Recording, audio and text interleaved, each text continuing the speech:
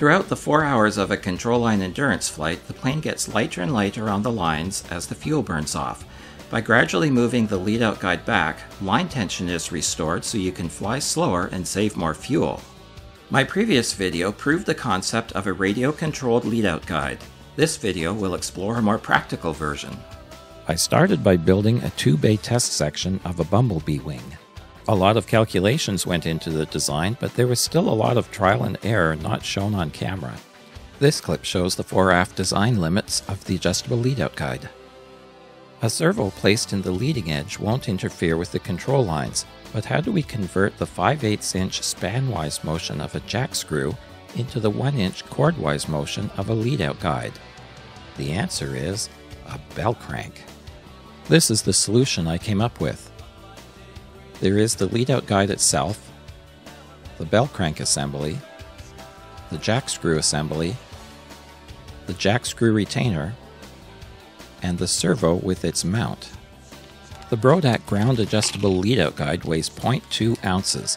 This new radio controlled solution weighs 1 ounce, the weight difference being about 6 minutes of fuel at the end of an endurance flight. The first step is to position the lead-out guide rail. Clamps are used to hold it in place. We check that the rail is positioned correctly and that the eyelets can slide without binding on the rib.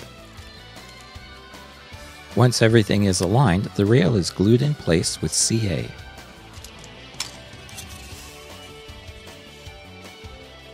A horn is attached to the sliding lead-out guide and the eyelets are installed. Again, here are the design limits of the available adjustment. The next step is to install the bell crank mount.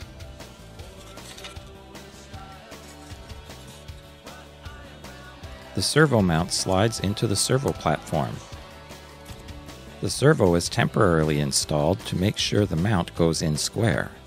Everything looks good, so glue the servo mount to the platform. Now install the platform in the wing.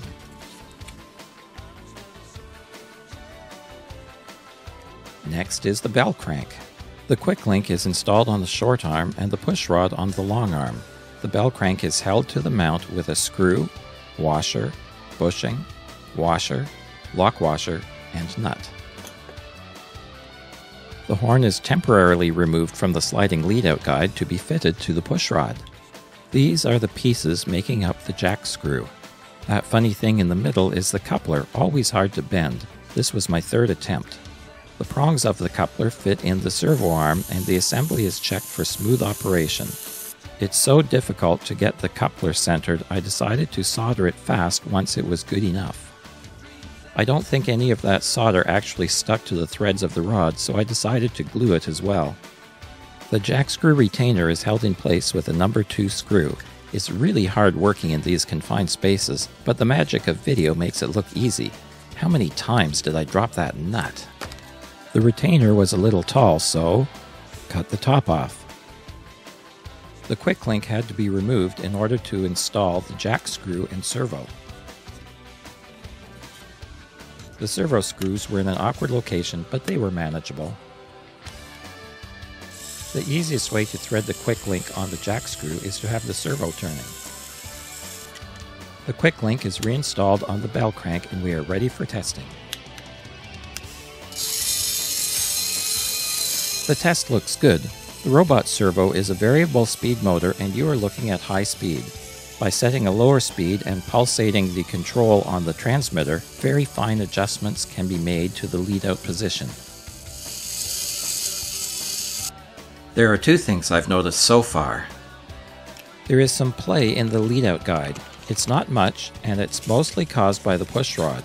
I'll get some advice as to how big a deal this is, if it will be a problem in flight and I suppose I can always use a larger pushrod with a tighter fit and less play.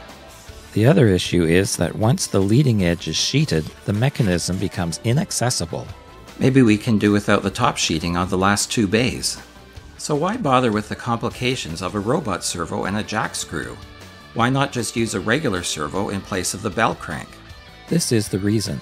A conventional servo draws power continuously to hold the lead-out guide in position, in a 4 hour endurance flight, that could easily deplete a 2 ounce battery. When the battery fails, the lead out guide slides and you lose the plane.